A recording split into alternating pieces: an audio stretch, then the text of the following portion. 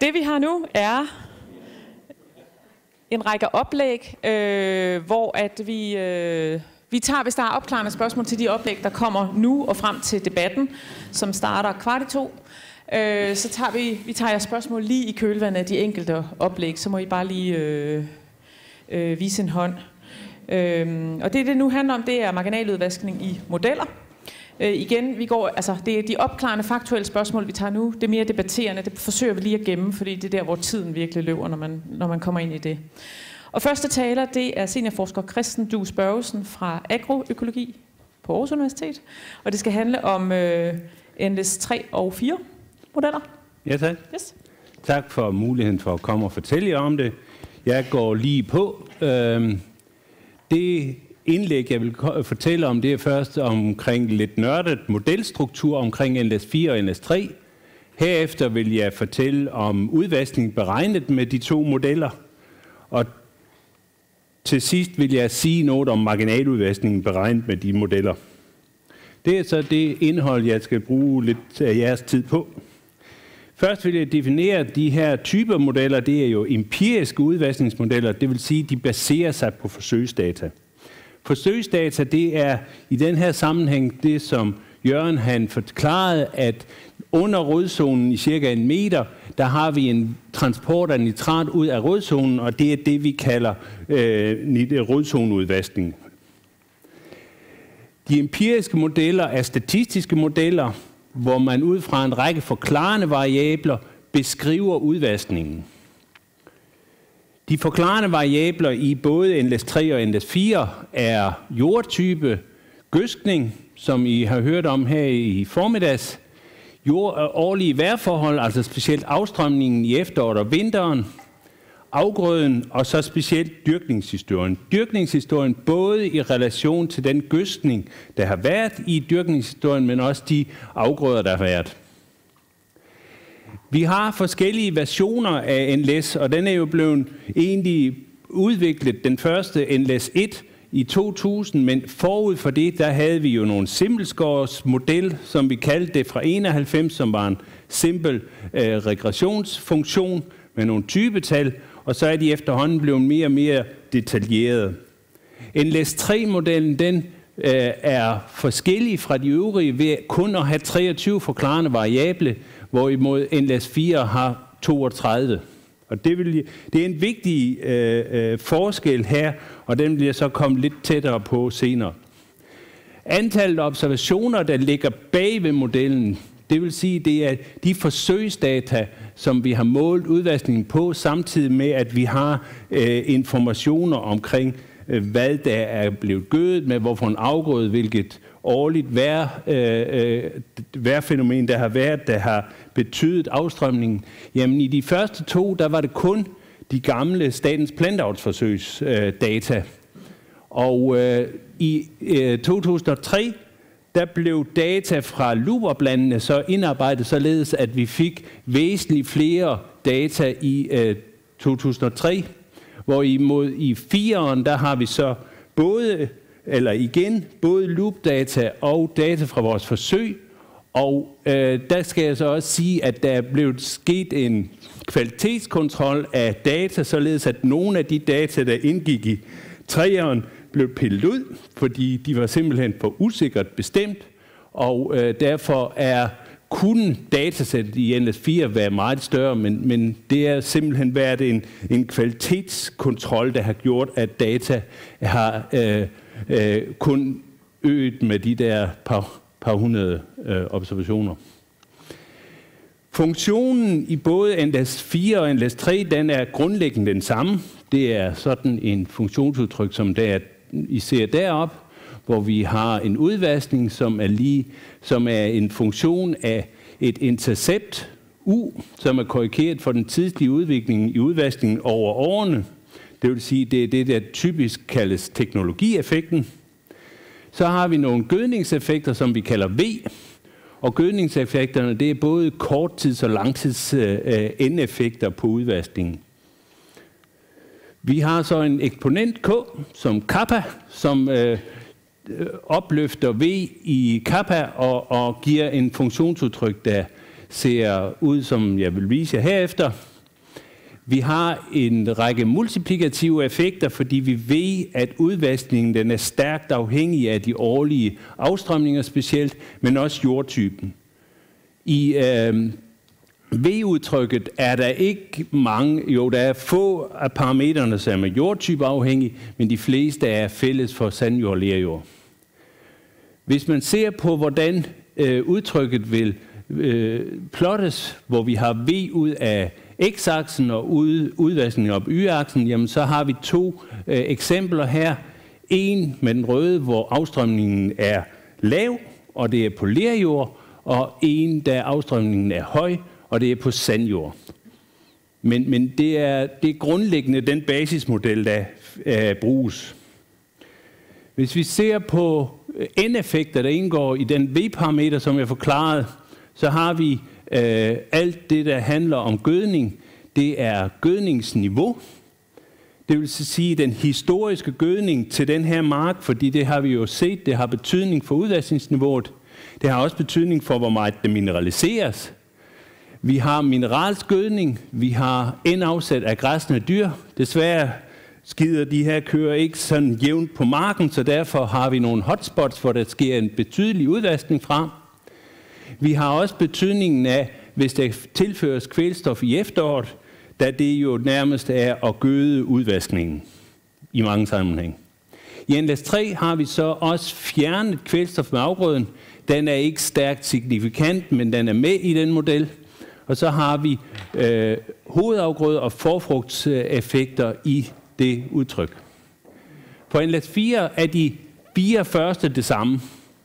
Men nu kommer vi så til, hvad der er sket af, af, af ændring i forhold til NLS 3.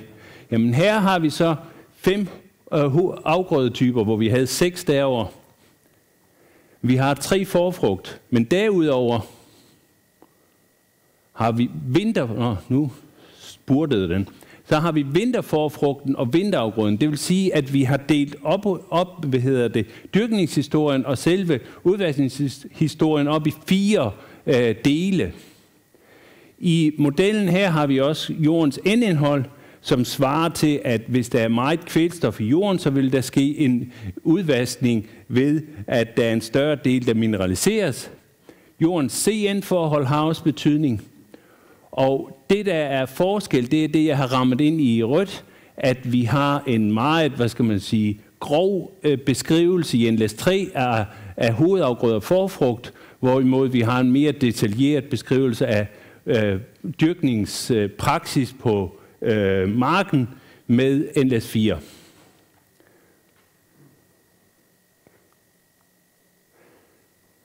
Hvis vi ser på, hvad der indgår i 3, NLS 3, der har vi jo de to grupper. Det vil så sige, at vi i en periode, som vi kalder forfrugt, det er det foregående år forud for udvaskningsperioden, hvor vi måler på, der har vi så øh, øh, seks øh, øh, grupper, og, og der har vi typisk korn, barjord, korn, vinterkorn og korn øh, efterafgrøde. Den nederste, det er en efterafgrøde. For hovedafgrøden, der har vi lidt flere, men, men vi har stadigvæk en, en, en øh, type, der beskriver både, hvad der sker i foråret og hvad der sker i efteråret. Hvis man går ind på en let 4, jamen der har vi den opdelt i fire øh, perioder. Vi har en forfrugt, som vi havde før, men lige pludselig er det også betydende, hvorledes øh, efterårssituationen den er forud for vores udvaskningsperiode. For udvaskningsperioden, udvaskningsåret, der har vi også to perioder, således at vi kan kombinere bedre, således at vi kan tage vinterved, barjord, vi kan også tage vinterved, vinterved og vorbyg, vinterved osv. Så, videre. så det er et langt mere fleksibelt system at beregne på, og det har nogle bedre beskrivelse af, hvorledes øh, afgrøden den påvirker udvaskningen. Korttids- og langtidseffekt af indgødning i NLS 4-modellen, og de er jo det er lidt det samme i NLS 3. Jamen, vi har en beta 1, som er et gødningsniveau. Gødningsniveauet har øh, både organisk gen og mineralsk gen og infiksering. Hvis vi så tager beta 2, det er korttidseffekt, så har man kun effekten af den mineralske gødning og infiksering. Beta 1 og beta 2 er således kalibreret på forskellige gødningsmængder.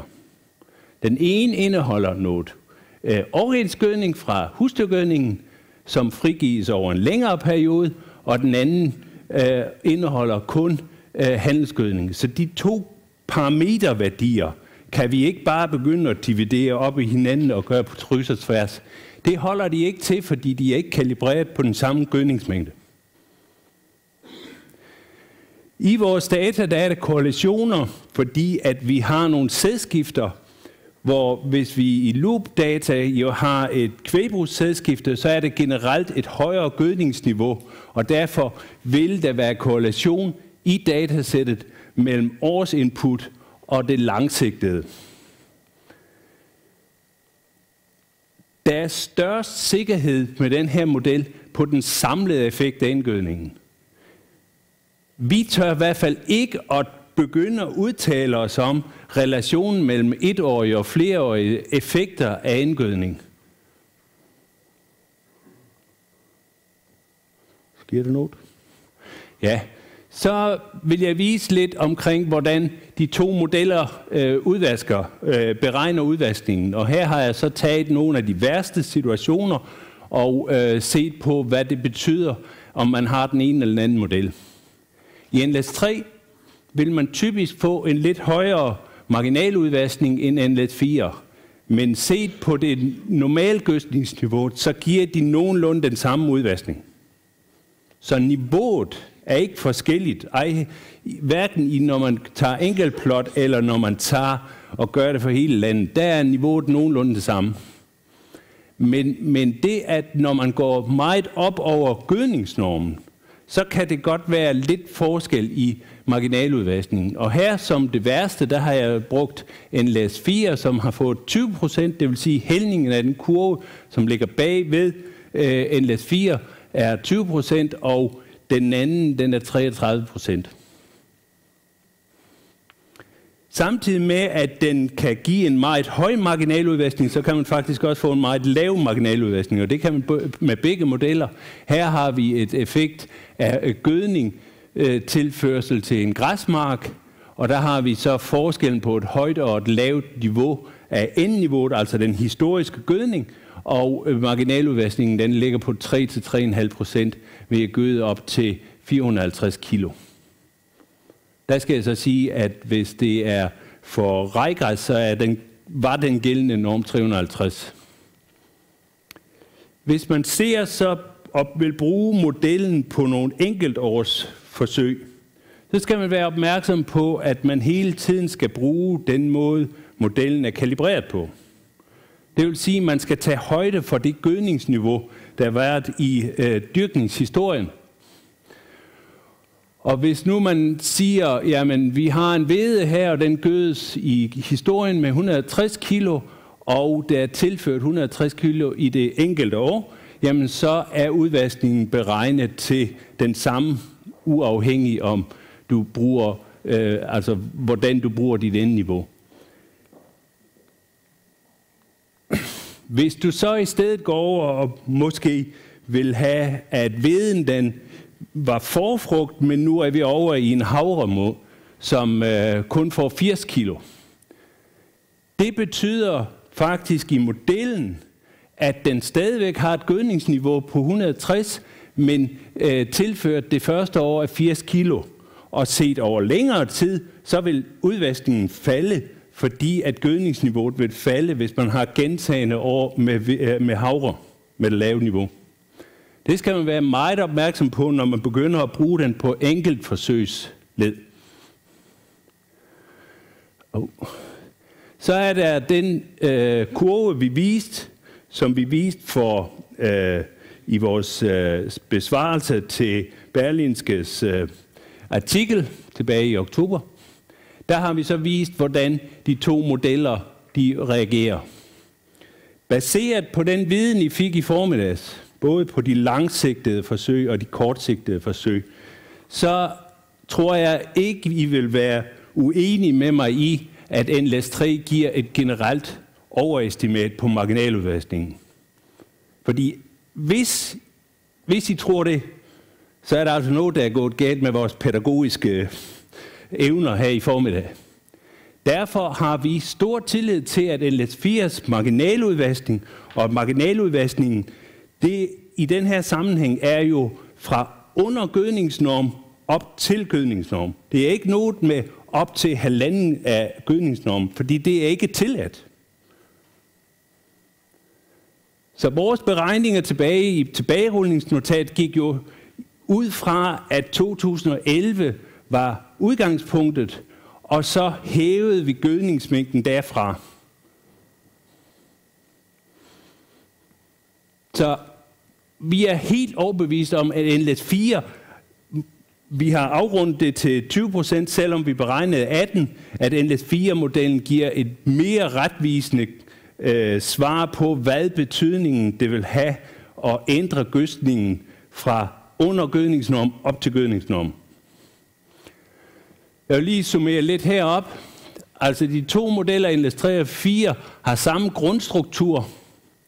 Der er flere forklarende variabler i NLS 4, flere afgrødeklasser, så vi beskriver øh, sædskiftet bedre. Vi har et mere opdateret datasæt.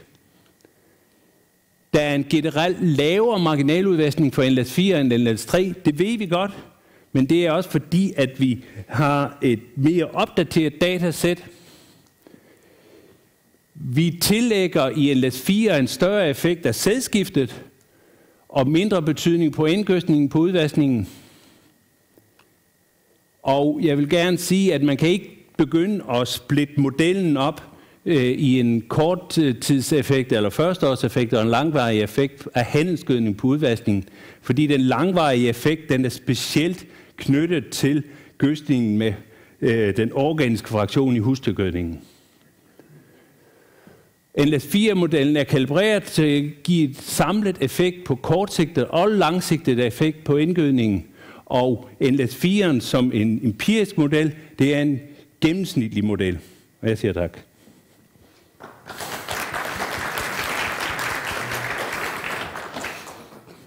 Er der nogen spørgsmål til Kristens oplæg?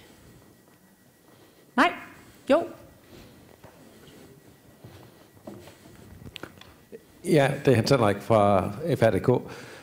Øhm, jamen, jeg savner selvfølgelig jordbearbejdningsfaktoren, det, det, det hørte vi i form, at den, ja. den, har en, den har en tyngde, det vil sige, at hvis vi får held i vores med landmænd og får mindre jordbearbejdning, så, så skal I til op til skub på jeres modeller, vil jeg tro.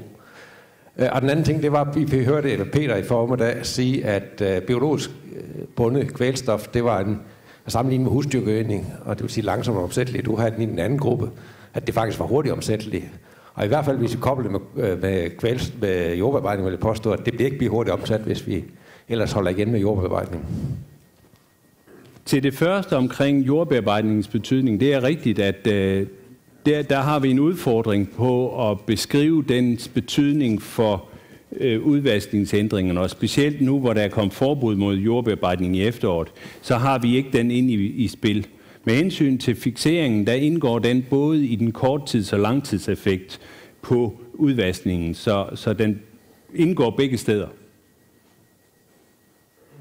Ja, så iler vi videre med næste oplæg.